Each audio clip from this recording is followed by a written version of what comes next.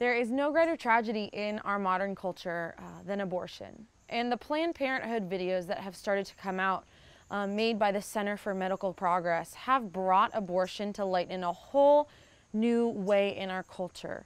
Um, I want to speak to young women and young men, people of all ages, about abortion because it's something that people have been duped by our society into believing that um, babies, fetuses, are clumps of tissue. If it wasn't for these heroes going into Planned Parenthood, um, not we wouldn't be um, able to see this footage. I've seen a lot of pictures of aborted children, and those are devastating enough. But to see the people in these videos, um, when the guy asks, Are there any specimens we can see? and he means aborted babies, the lady laughs loudly and she smiles and she says, We've had a long day, they're all mixed up together in a bag. And that is so piercing to see someone say that who has been so misled by the lies of the enemy as to what um, a human being is, is just an absolute tragedy. Um, and to see them in real time picking apart the pieces of a human being, um, this is something that we've never seen before as a society.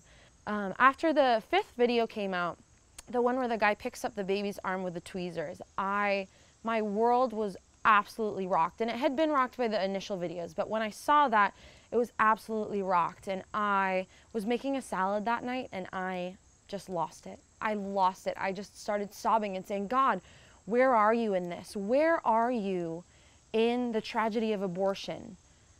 I just felt God saying, This is me doing something about it. Giving these people the means and the courage to go in and expose this in order to bring light to this is me. The work of the enemy is keeping this under wraps, it's keeping it hidden. But I am the one who is um, giving this, this Center for Medical Progress, you know, the funding and the means um, and the courage to go in um, and release this footage to the world. So I know that God is present in all of this. Um, and I just encourage people to A, um, watch the videos um, and do something about it. I'm always, especially after these videos, trying to ask myself, what can I do um, to continue to educate people on the reality of abortion so that one day it does become illegal.